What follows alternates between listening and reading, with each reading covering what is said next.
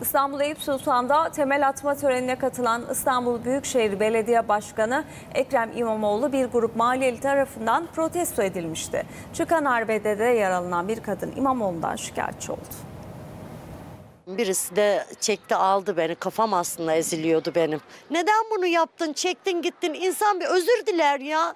İstanbul Büyükşehir Belediye Başkanı Ekrem İmamoğlu, Salı günü Eyüp Sultan'da Yeşilpınar Dönüşüm Projesi'nin temel atma törenine katıldı. Törenin ardından o projeyle parklarının yıkılacağını iddia eden bir grup İmamoğlu'nu protesto etti.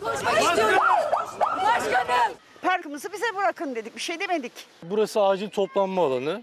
E, Dört tarafı da açık. Ne olur bizim parkımızı bu projenin içine dahil edilmesin. Bu pro, bu park bize verilsin. İmamoğlu'nun aracının durmamasıyla çıkan arbedede mahalleli Ayşe Topçu yaralandı.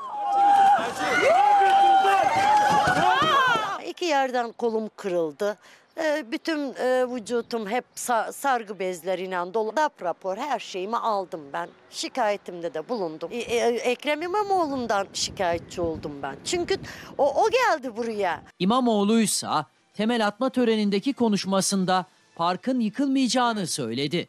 Hiçbir parkın yol oluş, yok oluşunu biz sağlamayız. Tam aksine pırıl pırıl çok güzel parkları burada var edeceğiz projeyle. Mahalleli parkta sökülen o acil toplanma alanı tabelasını da elle yaparak yine aynı noktaya astı.